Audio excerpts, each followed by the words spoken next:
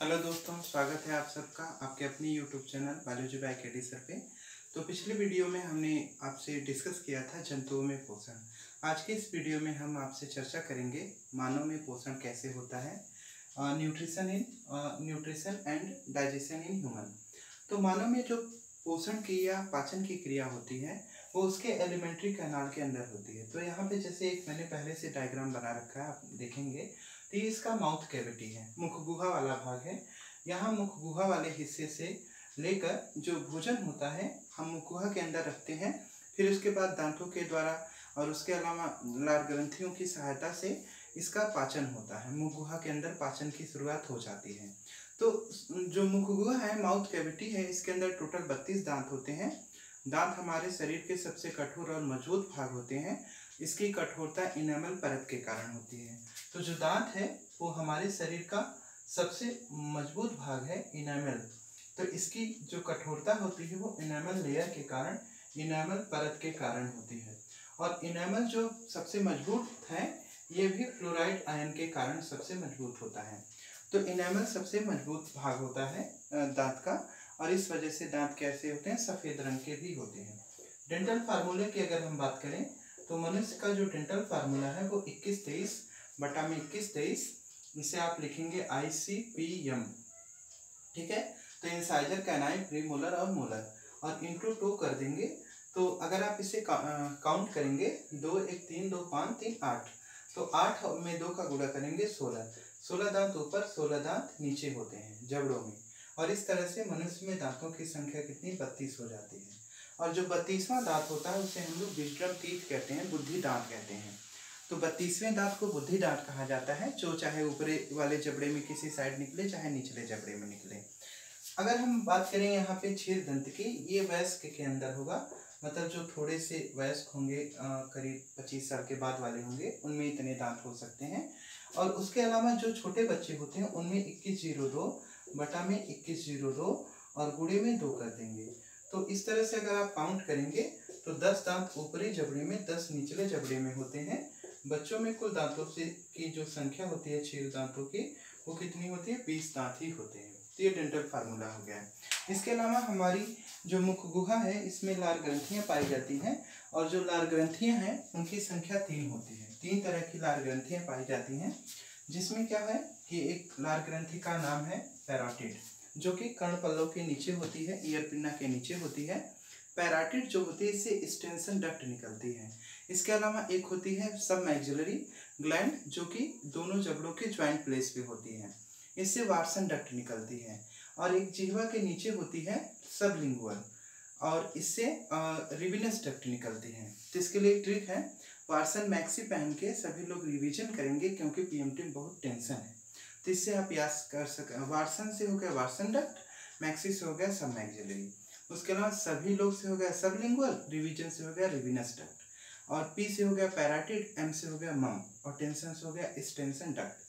तो ये तीन तरह की लार ग्रंथियाँ हमारे मुख गुहा के अंदर पाई जाती हैं। ये वैसे तो कंपटीशन जो जनरल कंपटीशन के एग्ज़ाम होते हैं, उसमें ये नहीं पूछा जाएगा। इसमें आपसे केवल इतना पूछा जाएगा कि मुख गुहा के अंदर किसका पाचन होता है। तो जो माउथ कैविटी है माउथ कैविटी के अंदर क्या है? दो तरह के एंजाइम पाए जाते हैं। इसमें एक होता है लाइसोजाइम एक एंजाइम होगा, जिसका नाम है लाइसोजाइम सॉरी और दूसरा एंजाइम होता है जिसे हम लोग टाइलिन कहते हैं। तो हमारे मुख गुहा के अंदर ये दो तरह के एंजाइम पाए जाते हैं। क्लाइसोस एंजाइम ये क्या करता है? ये जो जीवाणु होगा बैक्टीरिया होगा, उसे नष्ट करने का काम करता है। जबकि ये जो टाइलिन होता है, ये स्टार्च जो मंड होती है, उसका पाचन करता है। स्टार्च का डाइजेशन करेगा। तो मुख गुहा में सबसे पहले भोजन का पाचन होगा और भोजन के पाचन में वो मुख्य रूप से किस किसका पाचन शुरू होगा? स्टार्च का, मंड का पाचन मुख गुहा से शुरू हो जाता है। तो पाचन की क्रिया की जो शुरुआत है वो कहाँ से हो रही है? मुख गुहा से होती है। इसके बाद दूसरे नंबर पे आता है ओइसोफेगस, जिसे हम लोग ग्रास नली कहते हैं। ग्रास नली, ये जो माउथ कैविटी है, ये ग्रसनी में खुलती है फेरिंग्स के अंदर खुलती है, और उसके बाद ये हिस्सा होता है जिसे हम लोग कहते हैं ग्रास नली। ग्रास नली ये भोजन को निगलने का काम करते हैं। मुख गुहा के बाद का जो अगला हिस्सा है वो ग्रास नली है। इसमें क्या होता है? सब म्यूकोसा की लेयर पाई जाती है। इसमें भोजन का पाचन नहीं होता है। क्यों भोजन का पाचन नहीं होगा? क्योंकि इसमें किसी भी तरह का पाचक एंजाइम और, या फिर पाचक ग्रंथि डाइजेस्टिव एंजाइम और डाइजेस्टिव ग्लैंड दोनों इसके अंदर क्या होती हैं? नहीं होंगी अब्सेंट होती हैं। तो ये केवल एक तरह से पाइप का काम करेगा। यहाँ से भोजन खिसकते हुए पेरिस्टालिसिस के द्वारा। जिसे क्रमाकुंचन कहते हैं। क्रमाकुंचन गति के द्वारा ये आगे की तरफ़ बढ़ते हुए आमाशय में आएगा, स्टमक के अंदर आएगा। तो ये वाला हिस्सा हो जाएगा आमाशय।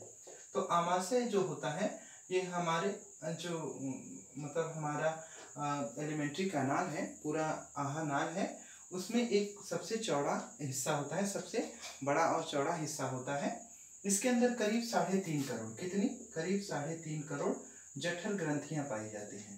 तो आमाशय के अंदर साढ़े तीन करोड़ जठर ग्रंथियाँ पाई जाती हैं। इसमें साढ़े तीन करोड़ जठर ग्रंथि होती है। इन जठर ग्रंथियों से क्या निकलता है? जठर रस निकलता है। और जठर रस में अनेकों तरह के एंजाइम होते हैं।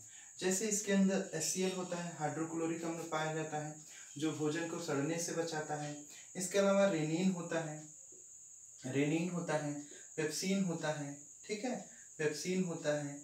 इसके अलावा लाइपेज होता है लाइपेज हो गया और लाइपेज के अलावा इसमें एमाइलेज होता है। ऐसे कई तरह के इसमें एंजाइम पाए जाते हैं जो भोजन को पचाने का काम करते हैं। अब जैसे इसमें रेनिन है तो रेनिन क्या करता है?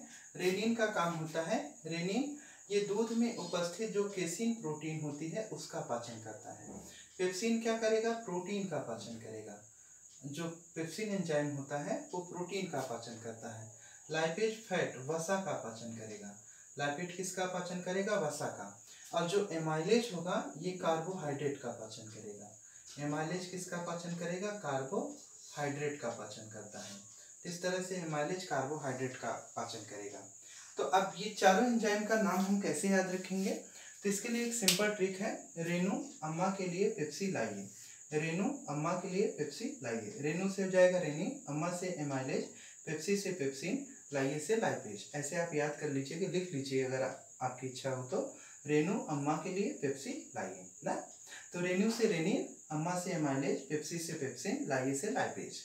तो ये एंजाइम क्या करेंगे? जैसे रेनिन दूध की केसिन प्रोटीन का पाचन करेगा मतलब दूध का पाचन करेगा। पेप्सिन प्रोटीन का पाचन करेगा लाइपेज फैट का पाचन करेगा और एमाइलेज कार्बोहाइड्रेट का पाचन करेगा। तो आमाशय के अंदर हमारे क्या होगा? इतनी सारी चीज़ों का पाचन हो जाता है।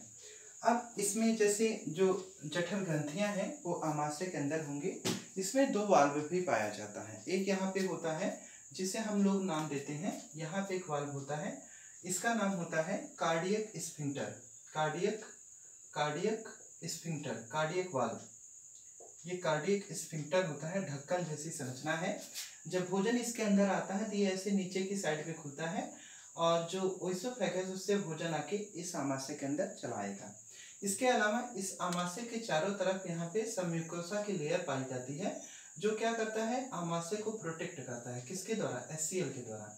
जो एस होगा यहाँ पे इसका पीएच वैल्यू करीब तीन के आस दो से तीन के दो से ढाई के आसपास होता है। या दो आ, किसी किसी बुक में दो दिया रहेगा।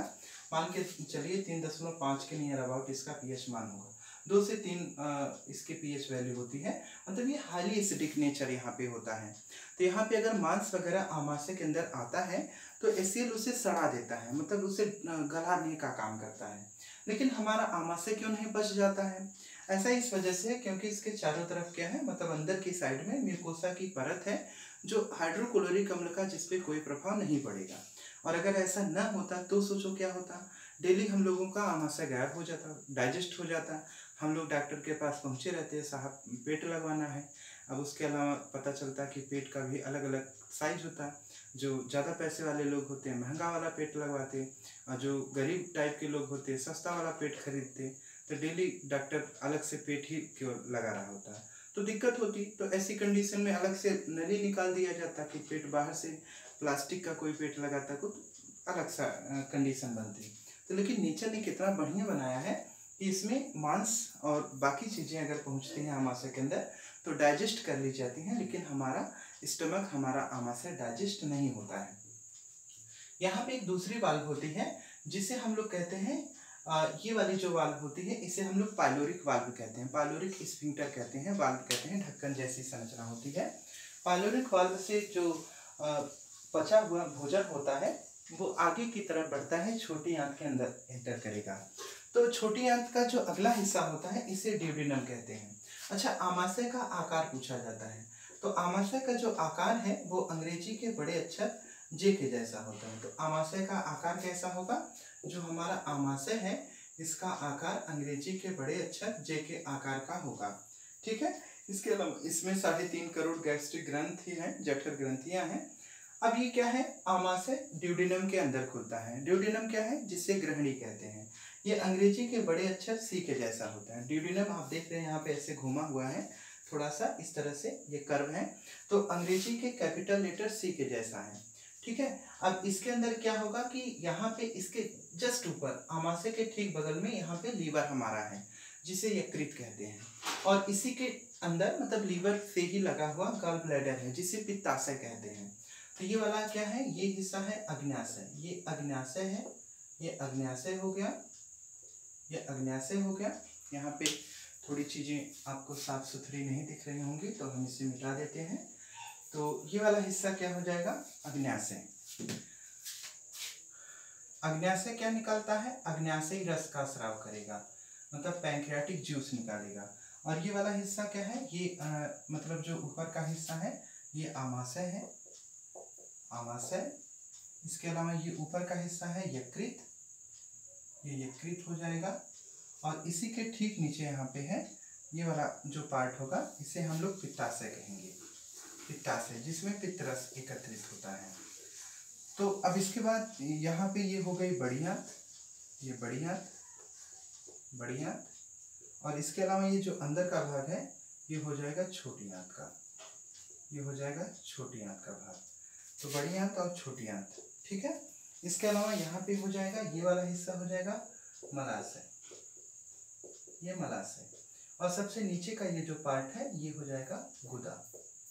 यहाँ पे एक होता है, इसे हम लोग बोलते हैं अपेंडिक्स हिंदी में इसे उंडुक कहते हैं। क्या नाम देते हैं? उंडुक। अपेंडिक्स को हिंदी में उंडुक कहते हैं। तो बस इतना भाग है इसमें मुख्य रूप से। तो यहाँ पे ध्यान दीजिए कि आमाशय का हमने आपको पूरा एक्सप्लेन कर दिया। ड्यूडिनम में जब आमाशय से भोजन बचेगा तो इस वाले हिस्से में आएगा ड्यूडिनम के अंदर। ड्यूडिनम में क्या होगा कि पित्ताशय से पित्तरस और अग्न्याशय से अग्न्याशय रस यहाँ पे निकलेगा। जो बचा हुआ मतलब प्रोटीन, कार्बोहाइड्रेट, इसके अलावा वसा, जो भी चीज़ें होंगी, वो अब इस ड्यूडिनम के अंदर पचना शुरू होंगी। उसके बाद जो छोटी आंत होगी, छोटी आंत पूरी तरह से भोजन को पचा देती है। अब छोटी आंत के अंदर क्या होते हैं? रसांकुर पाए जाते हैं। इस तरह से जो छोटी आंत है, इसके अंदर इस तरह से अंगुली नुमा संरचनाएँ पाई जाती हैं जिसे रसांकुर कहते हैं विलस कहते हैं विलाई कहते हैं ठीक है? ये रसांकुर क्या करते हैं? पोषक तत्वों को अवशोषित कर लेते हैं। तो जो भी भोजन पचता है यहाँ पे उसको ये अवशोषित कर लेते हैं। बाद में सारी ये जो पोषक तत्व प्रो, प्रोटीन विटामिन कार्बोहाइड्रेट जो भी हैं वो जब डाइजेस्ट करने के बाद वो अवशोषित कर लिए जाएँगे और अवशोषित करके ये ब्लड के अंदर मिला दिए जाते हैं रक्त के अंदर चले जाते हैं। जब यहाँ से भोजन पहुँचता है फिर बड़ी आंत के अंदर। और बड़ी आंत का ये जो छोटी और बड़ी आंत होती है, ये सीकम वाले हिस्से में खुलती है। सीकम से लगा हुआ एक अंगुली की जैसी संरचना होती है, छोटी सी अंगुली की जैसी संरचना होती है, जिसे उंडुक अपेंडिक्स कहते हैं। ये सबके अंदर होता है, यहाँ दाहिने साइड में होगा। और कभी कभी क्या होता है, इसमें इन्फेक्शन हो जाता है, संक्रमण हो जाता है बैक्टीरियल हो सकता है वायरल हो सकता है बैक्टीरियल ज़्यादातर होगा।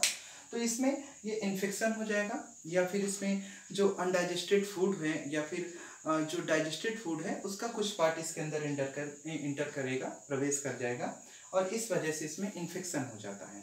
तो इसमें स्वेलिंग हो जाती है, जिसे अपेंडिसाइटिस कहते हैं इंडुक सोथ कहते हैं, और इस वजह से दाहिने साइड में दर्द होने लगता है। फिर डॉक्टर इसे काट के, छोटा सा ऑपरेशन करके काट के शरीर से बाहर निकाल देता है, क्योंकि वो वैसे भी इसका हमारे शरीर में कोई काम नहीं है। तो पहले के समय में जब हम लोग आदि मानव थे, बंदरों की कैटेगरी से बिलोंग करते थे तो ऐसी कंडीशन में ये सेलुलोज का पाचन करता था। सेलुलोज जैसे प्लांट सेल का सेल वाल जो होती है उसके अंदर, या प्लांट सेल से जैसे जो भी शाकाहारी चीज़ें हैं मतलब साग सब्ज़ियाँ हैं, उसके अंदर जो सेलोज होता है, उसका ये डाइजेशन पहले करता था। तो मैंने सब चीज़ों को पका के खाने लगा। तो इस वजह से ऐसी कंडीशन में अब सेलोज का डाइजेशन उंडुकसोंत नहीं करता है अपेंडिक्स नहीं करता है तो ये हमारे शरीर के अंदर अवशेषी अंग है। तो ऐसी कंडीशन में ये डॉक्टर इसे जब काट के निकाल देगा इससे हमारे शरीर में कोई इसका बैड इफ़ेक्ट भी नहीं होता है। फिर वो जो भोजन होता है अनडाइजेस्टेड जो बचा हुआ खराब अपशिष्ट पदार्थ होता है, वो बड़ी आंत के अंदर आता है और बड़ी आंत क्या करती है, भोजन को फिर ये मलाशय के अंदर ले जाके स्टोर कर देती है। अब जब ये बड़ी आंत से गुजरता है भोजन तो बड़ी आंत में जो भी चीज़ें रहेंगी, जैसे वाटर है और बाकी जो मिनरल्स रह जाते हैं, वो इसमें भी रसांकुर होता है, वो सब इसको अवशोषित कर लेता है। और लास्ट में जो मल के रूप में ये मलाशय में एकत्रित होगा और इनस के द्वारा बाहर निकाल दिया जाता है। जैसे मल जो होगा फीकल मैटर जो होता है, उसका जो कलर होता है, वो पीला होता है। यूरिन का भी कलर पीला होता है। तो इनका कलर पीला किस वजह से होता है? यूरोक्रोम के कारण। तो मल या यूरिन का जो कलर पीला होता है, वो यूरोक्रोम के कारण पीला होता है। तो ये बात आप याद रखिएगा। जो हमारी पूरी की पूरी एलिमेंट्री कैनाल है आहा नाल है, इसकी जो लंबाई है, वो करीब तीस फीट के आसपास होती है। या फिर अगर हम मीटर में इसे कंसीडर करेंगे तो ये करीब छः से आठ सॉरी आठ से दस मीटर के आसपास होती है। आठ से दस मीटर इसकी लंबाई होती है। तो हमारी जो आहा नाल है इसकी लंबाई कितनी हो जाएगी? आठ से दस मीटर। आहा नाल की जो लंबाई है, वो कितनी हो जाती है? आठ से दस मीटर के अराउंड होती है। इसके अलावा जो छोटी आंत होती है, छोटी आंत। तो जो छोटी आंत हम लोगों की है, छोटी आंत की लंबाई ज़्यादा होती है। इतना होगी, करीब छः से सात मीटर के आसपास इसकी लंबाई होती है। तो जो छोटी आंत है तो आप साढ़े छः कहिए, ज़्यादा बेहतर होगा, सिक्स पॉइंट फाइव। तो साढ़े छः मीटर के आसपास इसकी लंबाई होती है। जबकि जो बड़ी आंत होती है, बड़ी आंत की लंबाई करीब साढ़े तीन मीटर के आसपास होती है। तो बड़ी आंत साढ़े तीन मीटर के आसपास लंबी होती है, छोटी आंत ज़्यादा। नाम इसका छोटी आंत है और लंबाई इसकी ज़्यादा होती है। तो ये बीच में जो छोटी आंत इसकी लंबाई ज़्यादा होती है, पूरी उलझी होती है और जो बड़ी आंत है, इसकी लंबाई कम होती है, थोड़ा ये मोटी है। तो डायमीटर माने इसका ब्यास ज़्यादा होता है, बड़ी आंत थोड़ी ज़्यादा मोटी होती है डायमीटर इसका ज़्यादा होता है, इस वजह से इसका नाम बड़ी आंत है। जबकि छोटी आंत कंजेस्टेड होती है, इसका डायमीटर कम होता है ब्यास कम होता है, इस वजह से इसका नाम क्या पड़ गया, छोटी आंत। तो इस तरह से जो ह्यूमन में डाइजेशन की क्रिया थी, वो पूरी कंप्लीट होती है। इसके अलावा जैसे यकृत है, यकृत हमारे शरीर में डिटॉक्सिफिकेशन करता है। हमारे शरीर के अंदर जो भी विषैले पदार्थ होते हैं उन विषैले पदार्थों के प्रभाव को कम करता है। और साथ ही ये क्या करेगा गल ब्लैडर के अंदर पित्तरस का पित्तरस ये बनाएगा और पित्तरस आके पित्ताशय में एकत्रित होता है। तो ये निराभिषीकरण करता है। माने शरीर के अंदर जो विष होता है, जहर बन, बनता है डिफरेंट तरह के एंजाइम होते हैं या फ़ूड मटेरियल से पोषक तत्वों से जो भी हमें खराब अपशिष्ट पदार्थ मिलता है, उन सब के प्रभाव को लीवर हमारा कम कर देता है। माने जहर के प्रभाव को कम करता है। इसके अलावा ये लीवर क्या करता है? लीवर की एक और खासियत होती है कि हमारे शरीर के अंदर जो भी जैसे अमोनिया है, अमोनिया यूरिया से दस गुना अधिक विषैला होता है। तो अमोनिया को यूरिया में बदलने का काम लीवर करता है। इसके अलावा जो अग्न्याशय है अग्न्याशय दो तरह के हार्मोन्स रिलीज़ करता है, एक ग्लूकागान और एक इंसुलिन। इंसुलिन हार्मोन क्या, ग्लूकागान क्या ग्लूकोज के स्टोरेज में हेल्प करता है और बाकी जो इंसुलिन हार्मोन होता है वो डायबिटीज़ का नियंत्रण करेगा। जैसे इंसुलिन की अगर हमारे शरीर के अंदर मात्रा कम हो जाती है इससे जो ब्लड का शुगर लेवल होता है वो बढ़ने लगता है।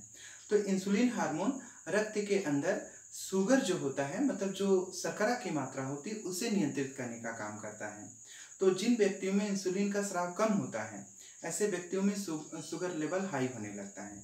तो ऐसी कंडीशन में जो इंसुलिन का इंजेक्शन उसे दिया जाता है। तो इंसुलिन का स्राव कहाँ से होता है? अग्न्याशय से होता है। इस तरह से जो डाइजेशन ह्यूमन डाइजेशन का कॉन्सेप्ट है, वो क्लियर होता है। बाकी अगर किसी भी तरह से और आपका कोई क्वेश्चन इस टॉपिक से बनता है तो आप कमेंट सेक्शन में कमेंट कर सकते हैं। इतना ही जनरल कंपटीशन के एग्ज़ाम में, इतने ही चीज़ें ज़्यादातर आपके एग्ज़ाम में पूछी जाएँगी, इससे ज़्यादा डिटेल में नहीं पूछा जाएगा। तो आज के लिए बस इतना ही। धन्यवाद।